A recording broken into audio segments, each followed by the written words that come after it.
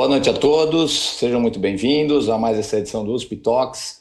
Eu sou Ayrton Escobar, jornalista, repórter do Jornal da USP, e em nome da Pró-Reitoria de Pesquisa da USP, dou as boas, as boas-vindas e agradeço aí a atenção de todo mundo que está nos acompanhando pela transmissão ao vivo no canal USP do YouTube e também agradeço imensamente a presença dos nossos dois convidados, o professor Glaucio Oliva e o professor Carlos Henrique de Brito Cruz, que nos prestigiam aí com a sua presença hoje nessa terça-feira à noite aqui no USP Talks, tá?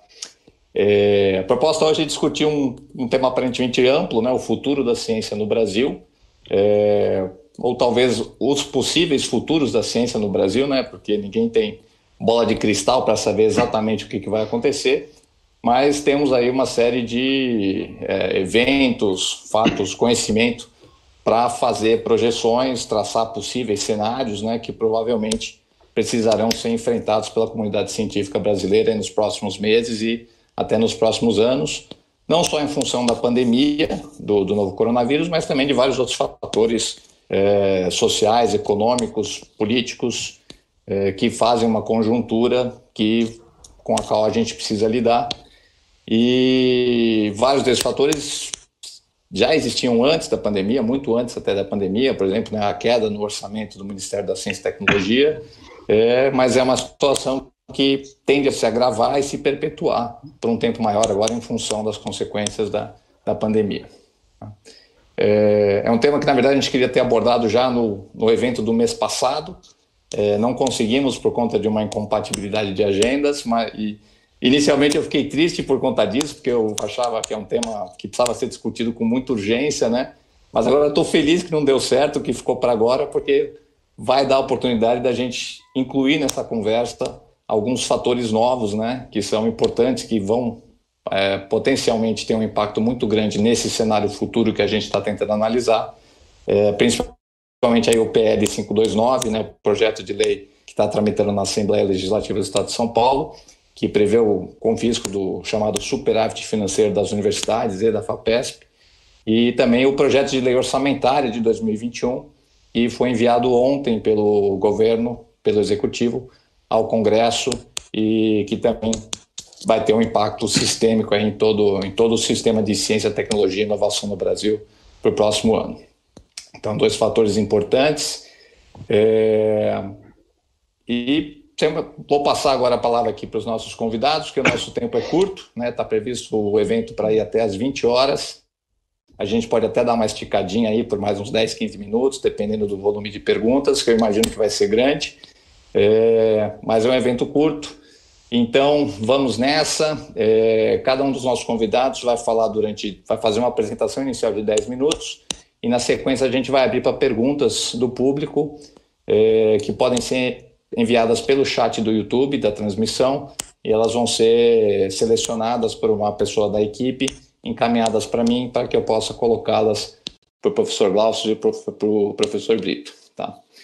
É, nossos, nossos debatedores praticamente dispensam apresentações, são muito conhecidos de todos na comunidade científica, é, mas muito brevemente vou passar a primeira palavra para o professor Glaucio, que é professor titular do Instituto de Física de São Carlos, da USP, ele é coordenador do Centro de Pesquisa e Inovação em Biodiversidade e Fármacos, que é um dos CEPIDs da FAPESP, né, os Centros de Pesquisa, Inovação e Difusão, e que foi diretor em 2010 e presidente de 2011 a 2015 do Conselho Nacional de Desenvolvimento Científico e Tecnológico, nosso CNPq. Professor Glaucio, prazer tê-lo aqui com a gente. Obrigado pela presença. A palavra está com o senhor. Obrigado, Ayrton. É, quero começar agradecendo a Pró-Reitoria de Pesquisa, nosso amigo Silvio Canuto, pelo convite é, para fazer essa, essa discussão, que eu acho extremamente importante. O momento é importante para essa discussão. Compartilhar essa mesa com o Brito também é um enorme prazer. É, depois que a gente sai das agências de fomento, é sempre mais fácil falar, né? Quando a gente está dentro, você tem sempre uma saia justa, porque você tem que dosar né, o fato de que você está exercendo ali o mandato naquele momento mas então, acho que, Brito, a gente está mais à vontade hoje para tratar dessa questão e o momento é realmente relevante, né? É, eu, eu não sabia se devia ou não, mas eu tenho alguns poucos, não muitos slides que eu queria compartilhar com vocês. E eu quero começar fazendo um, uma, uma, uma afirmação, né? Que me parecia uma coisa tão natural e óbvia até tão pouco tempo atrás que eu não costumava incluir isso nas minhas apresentações, mas cada vez mais eu tenho tido que repetir esse fato, né? Que, que para talvez muitos de nós que somos dessa, dessa área me parece óbvio, né? Todo o progresso humano está diretamente relacionado ao avanço do conhecimento pela ciência. Informação e conhecimento são os dois principais componentes do patrimônio e riqueza das nações no século XXI e todos os grandes desafios da humanidade em saúde, e estamos vivendo um desses grandes desafios agora com a pandemia de Covid-19, em alimentos, em energia, em ambiente, em sustentabilidade, em superação das desigualdades, em emprego, etc., só terão respostas pela ciência e educação. Essas coisas que às vezes parecem tão naturais, né? E as pessoas vão se esquecendo de que tudo que temos hoje, na verdade, de avanço em relação ao que tínhamos em 10, em 20, em 50, em 100 anos atrás, em 500 anos atrás, é basicamente resultado é, do esforço humano em criar conhecimento.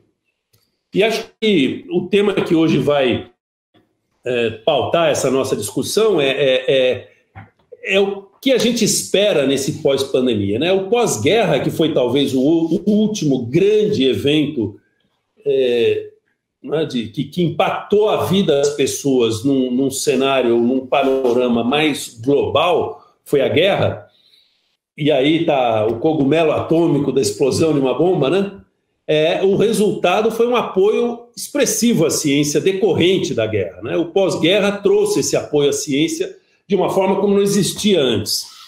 E a nossa pergunta é se o pós-pandemia vai também trazer uma renovação desse, desse contrato social entre sociedade e ciência. Né? É, é, é, evidente que apoio se traduz quase sempre em termos de orçamento. Né? É, eu não espero que vocês vejam o detalhe desse, desse gráfico, mas as cores dizem por si, é uma distribuição do orçamento federal no ano de 2018, o orçamento executado de fato, cada fatiazinha dessa pizza corresponde a, alguma atividade que o executivo, que o governo tem que fazer, não só o executivo, né, mas enfim, todos os órgãos do governo têm que fazer. Juros e amortizações consomem uma grande parte, previdência social outra grande parte, transferência a estados e municípios e por aí vai. Nessa faixinha pequena aqui, que está marcada em azul, é, corresponde a outros, e dentro desses outros está aqui ciência e tecnologia, que naquele ano de 2018 correspondeu a 0,24%. Né? Então, quando a gente pensa em política como uma definição de prioridades, é, aqui a gente começa a entender o valor do conhecimento que hoje a gente tem no nosso país.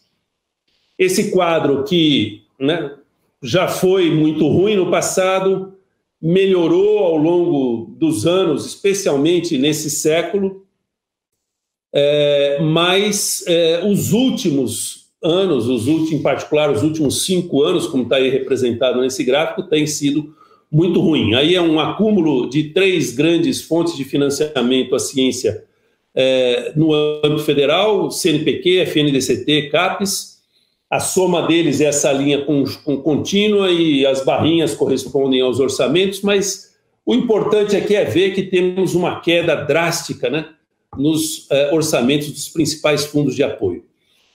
Isso tem sido chamado de o apagão da ciência brasileira, expresso ao longo dos anos com bolsas do CNPq sob risco, redução, corte de bolsas pela CAPES, é, é, é, um estado que estava relativamente bem preservado, o estado de São Paulo, o Brito vai falar sobre isso depois, mas também está sob ataque, já viveu um ataque não há muitos anos atrás, e, e isso tem se refletido ano após ano, é, como o Ayrton mencionou no início dessa, dessa apresentação, a projeto de lei orçamentária anual para o ano que vem foi apresentado pelo governo ontem e que traz aqui para ciência e tecnologia, também não se preocupe em ver os detalhes, mas o número aqui é de 2 bilhões 735 milhões é, milhões, comparado com a dotação atual, ou seja, para o orçamento de 2020, dotação que não representa necessariamente execução, porque, enfim,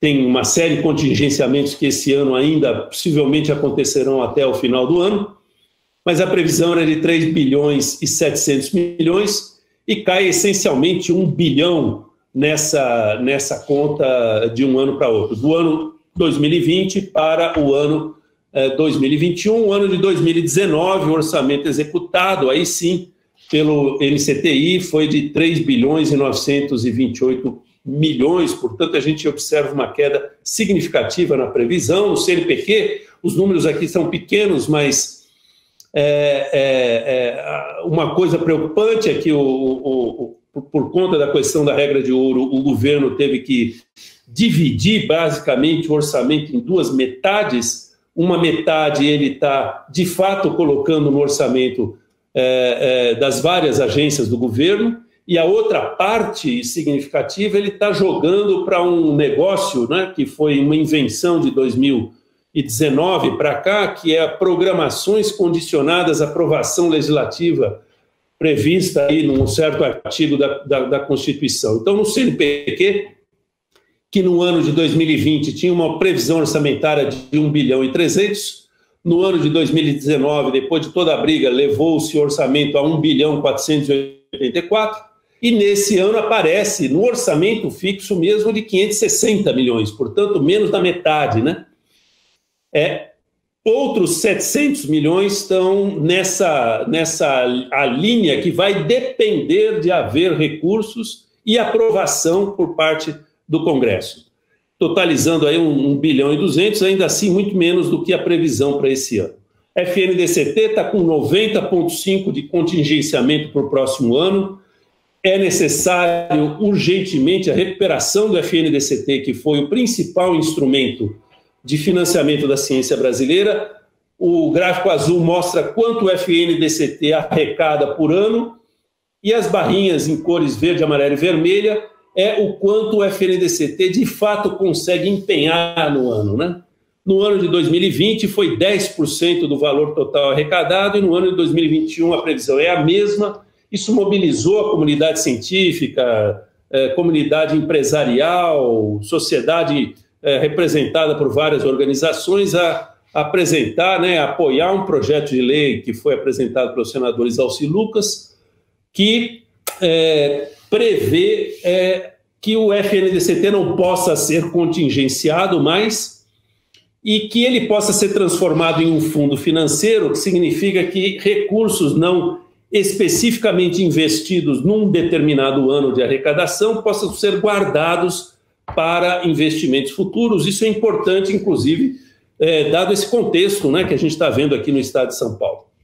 A ciência no século XXI tem impactos diretos na qualidade de vida das pessoas e na economia dos países, e a repactuação da ciência e sociedade exige, então, que todos os cientistas, de todos nós cientistas, né, um maior engajamento na rápida tradução e translação dos resultados da pesquisa para políticas públicas, para as empresas, com os consequentes benefícios das pessoas. É importante lembrar que ciência tem muitos impactos, não apenas o impacto científico aí representados, e como um olhar para o futuro, né, eu acho que a gente tem vários itens que possivelmente a gente vai poder discutir, mas me preocupa muito a questão dos jovens, não ter dinheiro agora, por um ano, por dois anos, por três anos, é um fenômeno com o qual a gente já talvez tenha vivido no passado, por ter tido um certo investimento ao longo dos anos, a infraestrutura não está totalmente depauperada, mas não ter recursos de custeio nem bolsas pode representar aí uma, uma paralisação, né? o apagão, como estava dito ali atrás. Nós temos que encontrar um equilíbrio maior entre é, ciência básica e inovação, que são duas faces essencialmente da mesma moeda, não são.